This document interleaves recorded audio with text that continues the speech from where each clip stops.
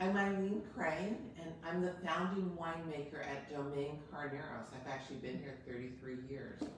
But I'm also called the chief bubblehead, either way. Um, I certainly love uh, sparkling wine, uh, good sparkling wine in all of its guises. So I'm going to tell you a little bit about sparkling wine, about myself, and about um, the wonderful winery of Domaine Carneros. I grew up in that great winemaking state, New Jersey. Uh, and it seemed highly unlikely growing up um, in New Jersey that I'd actually end up as a winemaker. I thought if you were going to be a winemaker, you lived in upstate New York and you belonged to an Italian family and you were a guy. Well, I broke the mold. My father had a wine cellar in New Jersey and he introduced me to Riesling and Pinot Noirs. They were all out of Europe at the time. But one Sunday he made the mistake and he opened a bottle of champagne. And he would always let me taste a little bit of whatever was going to be served for Sunday dinner. And I um, tasted my first sip, sip of champagne and I thought, this is for me. And it was. It took me a long time through many circuitous routes to find my way to California and into the wine industry. But for 42 years, I have made sparkling wine at three different sparkling houses, and most of it at Domaine Carneros. Domaine Carneros is the beautiful chateau on the hill between Napa and Sonoma. And I was hired in 1987 to build the chateau. If you come to Napa and Sonoma to visit, visit us, um, you can't miss the chateau on the hill on the road between Napa and Sonoma. And we're known far and wide for our fine sparkling wine. Um, and we also, a number of years later, we started to make a little bit of Pinot Noir red wine um, later. But the winery was owned by a family called Champagne Taittinger, and they hired me um, to build the winery and get the winery uh, started.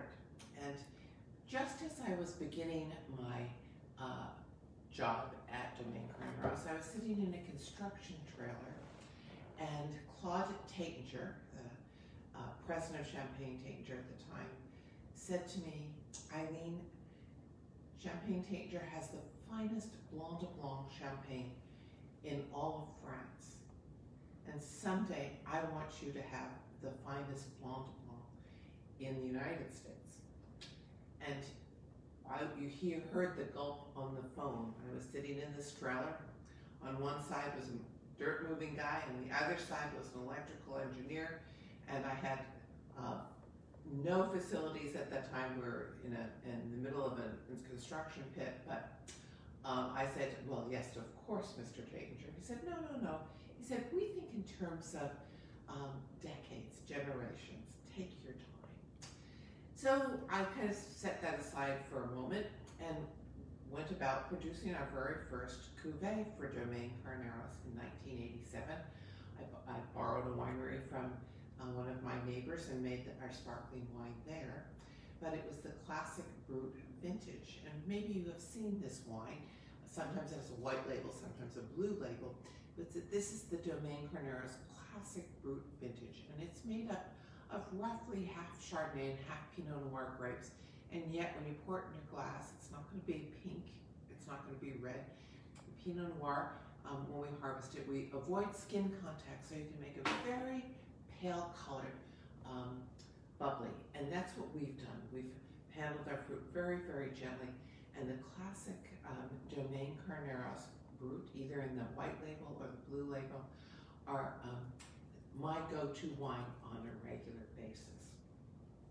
So time moved on a little bit, and we remember that uh, request of Claude Taittinger that he wanted a great Blanc de Blanc from Domaine Carneros. And we did trials on that over uh, four or five years. Little by little, we tried different things. And in um, 91, four years from our first vintage, um, we sent over some samples to Champagne Taittinger. We said, what do you think of these? Are, are we getting close to what you would consider a fine Blanc de? And I immediately received a fax back then. That was the new thing, faxes. Fax back and um, I, he said, Yes, yes. It's the next vintage is equally as good. Uh, we'll have our very first Super Cuvée um, from um, 100% Chardonnay, and then Le Rêve, which is what it was eventually named, is a wine that we make in very small quantities. Um, and Claude Taittinger ordered this specialty bottle for um, the Le Rêve uh, even before he tasted the 92 vintage. So he, he went out and, and sourced this wonderful bottle with the double cartouche of um, ram's heads. And of course, carneros means sheep or ram. If you think about it, um, Chateau Mouton Rothschild, Mouton stands for sheep, and so often, uh, not infrequently, um, the term carneros or moutons show up as um, a part of um, a name in the wine industry. But when we put this wine into the bottle, it was going to lay down and age for about seven years before release. And what we, um, when it was going to be time to release, sorry about um, it was, when it was about time to release the bottle, we thought, what are we going to call this wine? And um, I was sitting in bed with a cup of, cup of tea on a Sunday morning, and I said to my husband, what, what should we use? And he said, well, how about Reverie? He, liked that name. And I checked it out. Somebody else had trademarked that. So then we came around and we talked, said, how about Rêve? Sort of seemed like rubbing, revving an engine. Didn't sound quite right. But by little by little, it became Le Rêve. And Le Rêve means um, the dream come true. Rev um, is French for dream, and Le Rev. And I've always called it my dream come true wine. And how was that that it became my dream come true? Well, every winemaker who's committed to their job and really wants to make the finest possible, um, wants to find that wine that sort of throws their head back, or the one that says, this is it. And 19, um, 80, 19, uh, excuse me, 99, we did a big public relations thing at the Chateau. About 10 of the top press people from around the country came to taste the Rêve. And I was welcoming everybody, chatting with everybody, making sure everybody was happy. Um, and then hors d'oeuvres were passed, etc. And I sat down with the group, and before I said anything, I picked up the glass and took a sip, and I thought, what's that? And I tasted the Rêve many times in the laboratory, but this was the first time that I tasted the Rêve in a social situation at a uh, tasted it and I thought, this is my epiphany. This is my moment, the, the Le Rêve. And it's been that way ever since. Although we've made some other ones. Sometimes people say, you only drink the Le Rêve, obviously. Oh no, I like all of our sparkling ones. And the Brut I drink all through the winter, and I always have to have a bottle of um, bubbles on Friday night. But there's nothing wrong with another bottle of bu bubbly on Saturday night. Sunday morning in bed. Um, and Monday morning, you make it through to lunchtime, you might need a glass then. So you don't have to wait for special occasions. Um, you open that bottle and there is an occasion. Believe me, if you open the bottle, you'll think, okay, we forgot to celebrate something, whatever it was, making it through the week. Sometimes that does it. So in the springtime, my palate moves to our rosé. And the rosé, we, we, that wasn't one of our first wines to be created. Um, at the time, um, in the 90s, rosés were not very appreciated in, in, the United States. Personally, I think it was because people um, were familiar with cold duck back then, or um, white Zinfandel, and they thought it was, whatever it was, it was going to be bad. But little by little, people started to think, well, maybe sparkling rosé could be just so um, we made just a couple of, of, cases of it, just as a little sample, um, and uh, didn't think we only had it at the winery. You could taste it at the winery. Only for a couple of months could you taste it at the winery.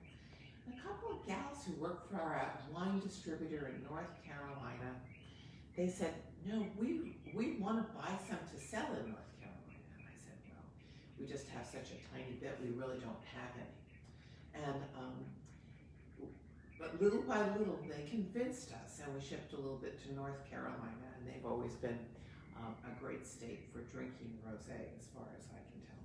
Now, the rosé is an interesting wine. I don't know if you can see this, but it's a it's a pale pink color, and some part of the of a rosé is the the color is part of the marker. You've probably seen rosés, and there's been so little color that you almost think there's no color. It's almost a white wine. And sometimes you've seen rosé and you think, oh, this is really red. What's that doing in a rosé bottle? But if you can see our um, rosé bottle, you can see that the it's a pale, I think it's peachy or salmon color. Kind of changes with my whim what I call it. But this beautiful pink um, color is what we aim for. And by the way, this wine, this product is called Cuvée de la Pompadour. And Cuvée de la Pompadour refers to Madame Pompadour.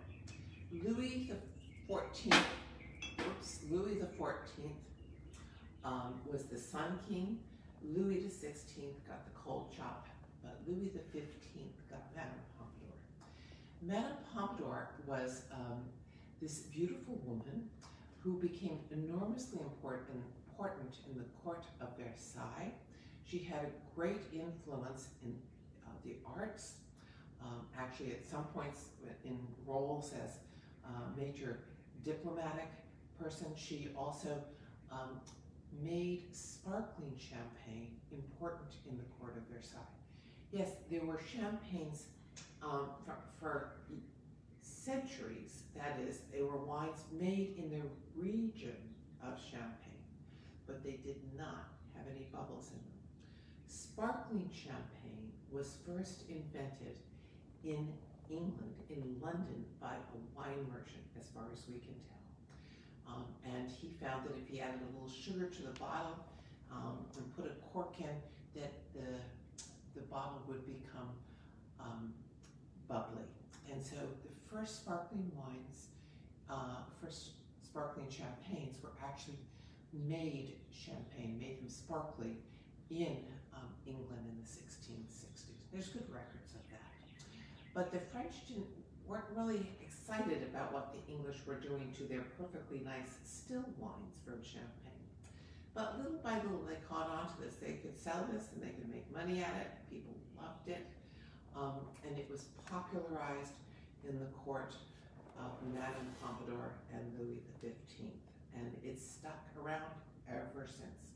But Madame Pompadour the color of wine, the, the, the, wine that she would have called sparkling champagne, um, would have had um, some color to it. She didn't, the producer didn't intend it for it to be a pink color. But the reality was that um, they, the way they pressed their grapes, um, they would get. So um, we have this very pale pink, it says has a um, peachy color, and that's our marker. And this, our rosé, Cuvée de la Pompadour, is made differently than most other rosés. Many, many rosés simply add red wine to the white wine to make it um, pink. We don't do that. We actually bring in grapes and leave them on skin for a little bit and they pick up some color from the skin. And so it's all done at the same period of time. We get that this light color. I don't know if you can see this, but we have tiny, tiny bubbles. Um, and uh, that's one of the markers of Domaine Carneros, returning back to Claude Taittinger. In the early days, Claude Taittinger used to say to me, how do you make those bubbles so tiny? And I'd say, it's my secret. And I still have a job 33 years later. Um, but we, we make a very different style. I'm not, not extremely different. Taittinger makes a very elegant style of champagne. We make a very elegant style, but they are of Champagne, we are of Carneros. And you can, uh, an imi imitation is never as good as an original. So we are clearly an original, um, but people will say, oh yes, Taittinger. Um, but we, are not copy, copycats, but at the same time, um, we, we have our own style. So you might someday want to just sort of taste a couple of their wines, the Taittinger wines and our wines side by side, and you'll see the differences. You'll probably also see um, similarities. Those are always fun to, to try side by side. The French company versus their, um, I call it little sister. So this is the um, uh, Cuvée de la Pompadour. This is uh, when I sit out on the back deck in the summertime. Right now it's fun to do that because you can't go anyplace with a little glass of pink bubbles. Doesn't make any difference. You can, you can be having a great time just out there doing that. Okay, so the last bottle, bottle, excuse me, bottle. You think I've been drinking before this? Well, maybe just a wee bit. Um, when um, I was hired and when we got started, it was assumed that um, we would be a sparkling house and nothing but a sparkling house. That was fine with me. I made sparkling wine for 10 years before I'd taken the job here, and I love making sparkling wine. It's my thing, it's my passion. Well, in 1992, we had more grapes than we needed for our own winemaking, and so we sold a little bit of our uh, Pinot Noir grapes to a rather famous uh, Pinot Noir winemaker in the Carneros, and um, he liked our grapes best. And every year he'd come and he'd want more grapes. And as we were growing up as a winery, we had fewer grapes to sell. And after Tony came in 1992 and said, you know, I need more grapes, and I said, well, you really can't. We've, um, he, was not pleased, but um, after he left, my assistant winemaker at the time looked at me and said, well, if he wants those grapes so darn bad, why don't we just at least make an ex- take an, make an experiment? And we did. So we made a tiny amount of a red Pinot Noir and put it in a barrel, and the intention was to give it to the employees as a holiday present. But Claude Taittinger came to visit us in October, as he did every year, and when he saw that barrel, he said to me, What have you got in that barrel? And I said, Well, we have a little Pinot Noir trial, and um, we're, when we bottle it, we're going to give it to the employees. And he said, Well, can I taste it? And I said, Yes, uh, you can taste it, Mr. Taittinger. And he tasted it. He said, Well, when you bottle this wine, please um, ship it over to me and I'll put it in our five star hotels. At the time, Taittinger Ho- owned a host of um, five star hotels in Europe. And we did. Of course, you know the employees have never forgiven me that I didn't, um, or I gave away their wine. On the other hand, we have made it up year after year after year, so I think they didn't lose out on this. This is our estate Pinot Noir, very beautiful bottle.